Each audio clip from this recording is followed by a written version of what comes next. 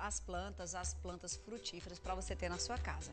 Mas quando o assunto é saúde, as pessoas estão cada vez mais pensando na prevenção, muito mais do que somente cuidar de doenças. E é nada mais inteligente do que isso, né? A saúde preventiva e não curativa. E hoje o nosso assunto aqui é longevidade no quadro Isso é sintoma de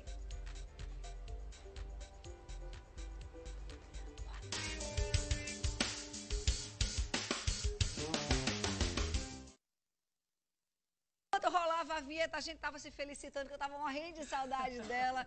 Olha, a doutora Márcia Fonseca, ela é médica do estilo de vida e também é ginecologista. E isso é uma tendência né, que a medicina entendeu, que a mulher e que todo mundo precisa pensar nessa longevidade e também no estilo de vida. E a gente vai começar conversando, doutora Márcia, como é que a mulher tem se percebido ao longo dos anos?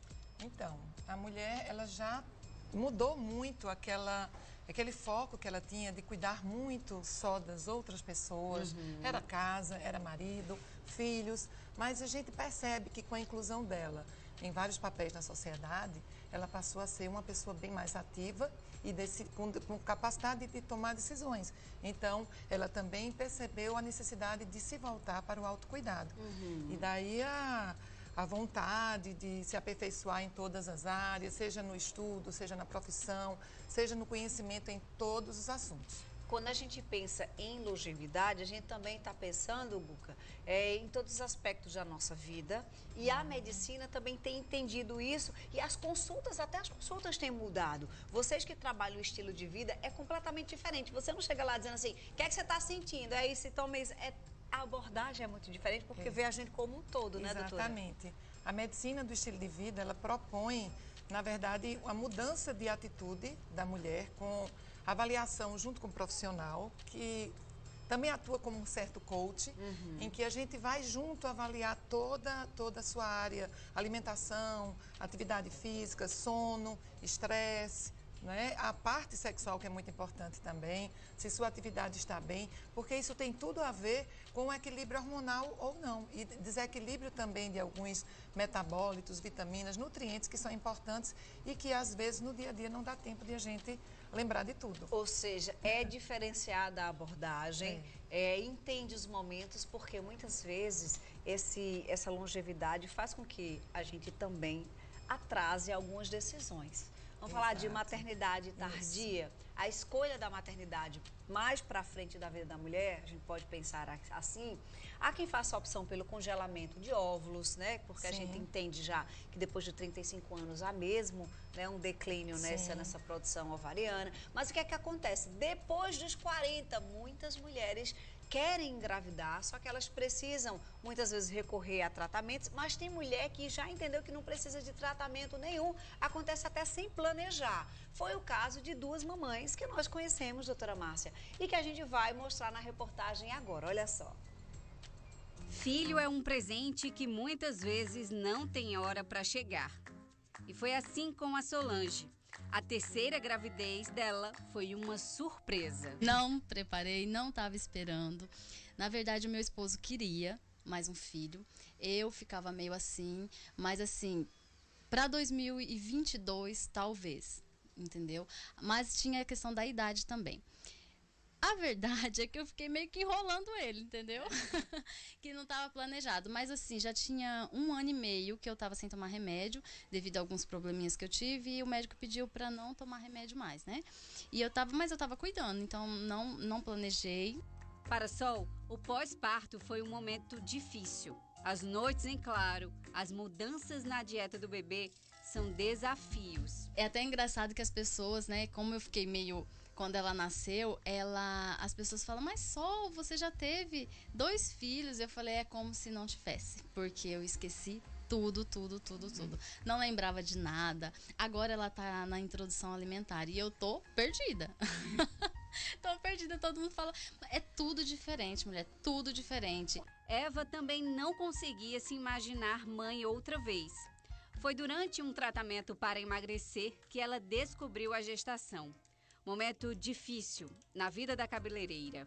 Eu não queria mais ser mãe, né? Por conta da minha idade e por conta da idade do meu esposo, né? Eu já estou com 42, ele com 63 e eu achava que não, não era mais a hora de ser mãe. Aí quando veio essa engravidez indesejada, eu sofri muito. Fiquei triste, depressiva, sem querer aceitar. Eu ficava pensando, meu Deus, como é que eu vou criar outro filho? Eu trabalho muito, saio de casa de seis da manhã, chego de sete da noite, todos os dias. Com quem ele vai ficar? Vai ficar no berçário, vai sofrer, porque ela ficou, ela foi criada em berçário, né? E eu ficava com muita pena, né? Até hoje, hoje ela já é, já é grande. E eu pensava em tudo isso, tudo isso mexia muito comigo. Ela passou pelo período de aceitação da gravidez e agora conta os dias para pegar o Elias no colo. Já estou feliz, já estou ansiosa, já fico sonhando com o rostinho dele, já fico querendo que chegue para o mês para eu ver, ver ele, pegar nele. Já fico super ansiosa. Apesar da maturidade, todas as experiências maternas são uma novidade para as mamães e elas não estão sozinhas. Para muitas mulheres, o sonho da maternidade está sendo cada vez mais adiado, não só por causa dos estudos, mas também pelo trabalho e pela vontade de se estabilizar financeiramente. A prova disso é que o número de grávidas entre os 40 e os 44 anos aumentou 18% em 10 anos. As histórias das mães envolvem temores, expectativas. Eu tô perdida até para comprar fralda, né? Porque eu fico, meu, fui comprar fralda, tô comprando fralda tem umas que eu compro menor demais e umas que eu compro maior demais. Porque eu já esqueci, 12 anos depois, né? Mas assim, eu fico tão ansiosa e também eu fico assim, ser mãe de menino. Porque como eu fui mãe de menina, eu não me imagino ser mãe de menino, tô me acostumando. Mas no fim, a alegria por terem vencido a barreira da idade. Eu tô curtindo muito mais agora do que quando tive os dois primeiros, que eu tive muito nova, tava na faculdade, aquela correria, né? E agora não, agora eu larguei tudo. Profissão, tudo, só tô mãe de mel.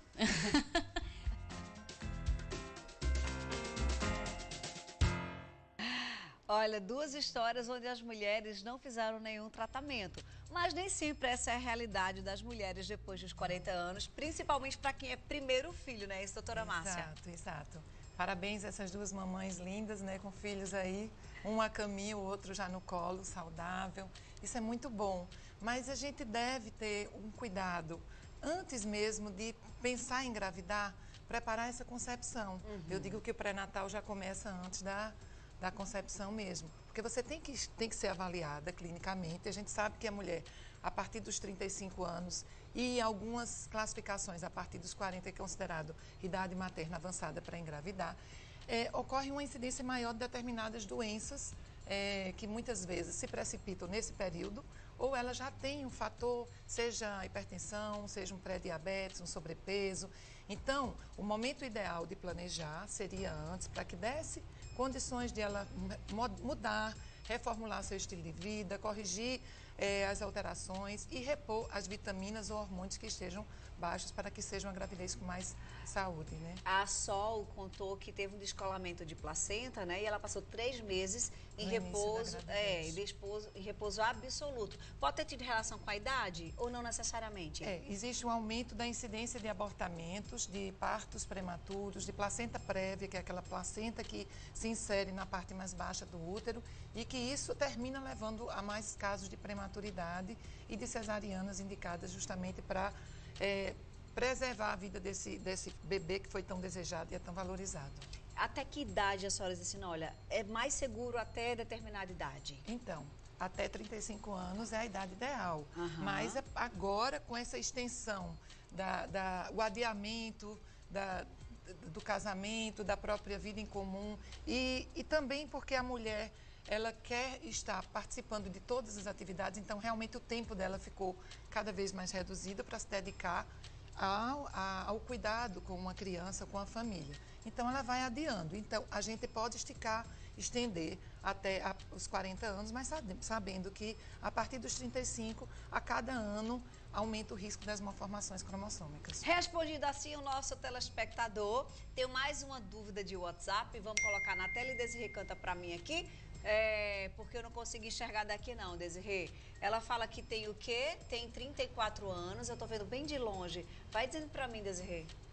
Tem 34 anos, um filho de 9 anos, mas tem medo de engravidar novamente porque o parto foi complicado. Pode haver repetição dessas histórias ou não necessariamente? Não necessariamente. Quando ela falou parto, eu entendo que foi só o momento do nascimento do bebê. Uhum. Né? Então, a gente sabe que para minimizar esse, esses riscos, tanto durante a gravidez como também na hora do parto, é necessário que a paciente ela cumpra aquelas consultas regulares uhum. até 32 semanas de gestação, quer dizer, em torno do sétimo mês. A consulta deve ser mensal, a partir de 32 até 36, quinzenal, e a partir daí, semanal. Isso dependendo da necessidade, pode ser até duas vezes por semana. Então, vai depender de o que está acontecendo, dos cuidados, dos exames que terão que ser vistos com maior frequência, para que não aconteça nada com o bebê e com a mãe também. Vou aproveitar a presença da doutora Márcia. A gente está falando sobre estilo de vida, mas acontece quando a gente fala de mulher, envolve absolutamente tudo. Já estou querendo saber sobre laqueadura, doutora, se é possível uma reversão. Na verdade, a laqueadura é, é feita uma cirurgia plástica para recanalização. Uhum. Mas hoje sabe-se que a, a incidência de uma gravidez tubária, mesmo fazendo a cirurgia com toda a técnica, é muito alta. Então, é preferível realizar a fertilização in vitro. Entendi. Em que já, já é captado o óvulo no ovário e daí é fertilizado com espermatozoide e inserido dentro da cavidade uterina. Entendi. É bem já não seguro. passa aquele processo já de vai, passar pela é, Já não passa pela trompa, já vai para o lugar certo. Ou seja, quem fez laqueadura, se não tirou o ovário, né, aparelho reprodutivo como todo, isso, tem a chance isso. de gerar um bebê, sim. Vamos falar sobre conscientização do autocuidado, porque a gente está envolto em tantas atividades, como a gente começou a falar aqui, muitas vezes vai se negligenciando, falo eu mesma que fiz os meus exames em dezembro e a gente está em março, ainda não voltei para a médica para mostrar. Então acontece que a gente vai entrando nessa rotina de vida e daqui a pouco, doutora, quando a gente olha, meu Deus, se passaram três meses de um resultado de exame que já poderia estar diagnosticado e resolvido, acontece é comigo com um monte de telespectadora também, né? É verdade. Esse autocuidado, ele diz respeito a tudo. A saúde, a beleza, ao trabalho, né, aos cuidados com, com as pessoas que são dependentes da mulher.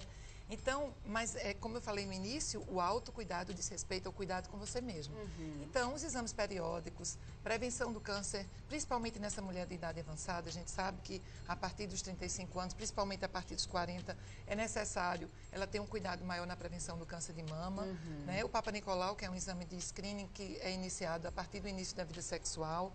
A prevenção também de uma gravidez indesejada né? a prevenção das DSTs, das doenças sexualmente transmissíveis. Então, esse momento com o ginecologista, que eu digo que é o clínico da mulher, que termina a mulher falando sobre tudo. Verdade. E se for um ginecologista que tem essa visão integrativa, a gente termina falando sobre muito mais, sobre estresse, sobre sono, sobre... Vida é, sexual, Vida sexual. Né? E, e, exatamente. E, e, então, ela nesse momento, ela tem a oportunidade de fazer todos os exames anuais, que são de, de rotina anual, e a partir dos 50 anos já tem a, a história da colonoscopia para prevenção do câncer de intestino, né? uhum. né? Para avaliar também a tireoide, que tem mais a ver com o endocrinologista, mas por que não o ginecologista também fazer essa triagem?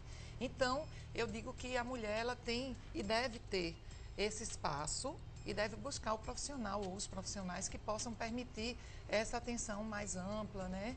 mais detalhada. Um olhar mais, mais holístico mesmo para nós todos, né? Ainda hoje eu volto a conversar com a doutora Márcia. Vamos falar sobre qualidade de vida após a menopausa, que é uma situação bem comum. Muita uhum. mulher já sofrendo de ansiedade porque está chegando na idade mais propensa da menopausa, Sim. já está, ah, vou começar aqueles, aquelas situações todas. E vamos falar também sobre controles hormonais, Sim. que são coisas que levam as é. mulheres muitas vezes né, a, a, ficarem disfuncionais e todas aquelas questões. Então, se você tem dúvida, manda para a gente, 98893-3999. A gente aproveita a presença da doutora Márcia Fonseca, que trabalha essa esse estilo de vida para esclarecer um montão de dúvidas aqui. Até já, viu, minha querida? Agora eu vou falar com esse mocinho aqui. Boa, boa tarde, tarde, boa tarde.